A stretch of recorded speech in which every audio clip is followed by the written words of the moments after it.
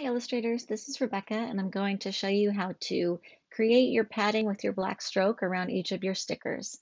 So I have an artboard that is 8 inches by 5.5 inches with all three of my characters placed on it together.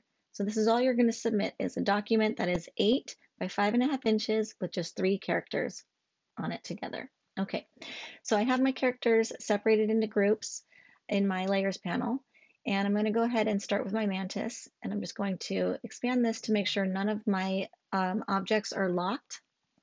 I'm going to select this mantis and you would then uh, do Command C to copy.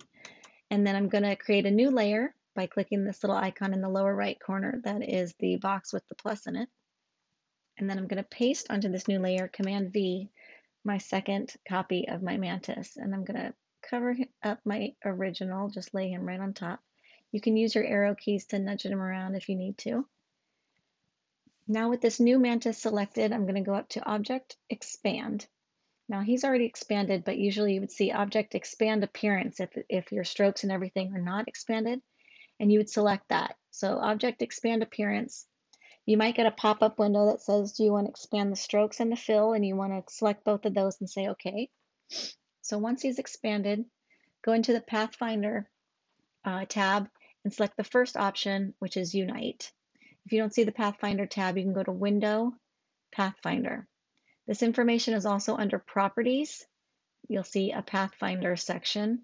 Same thing, first option, Unite. So I'm going to click on that, and now all of my uh, paths have turned into one shape there.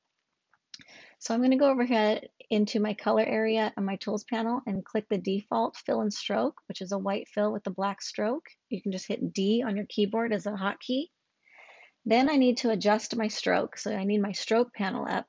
If you don't have it, you can go to Window, Stroke, or you can select these three horizontal lines here, if you see those. So for the weight of my stroke, I'm going to change it to 15. You can manually type that in, or you can hit this drop down menu and choose 15. And then here's the important part. Go to align stroke and choose the outside, align stroke to outside options, this third one here. From here, I'm going to expand it again, object, expand appearance this time. And then one more time, I'm going to go to Pathfinder and unite again. And now I've got this even wider shape there.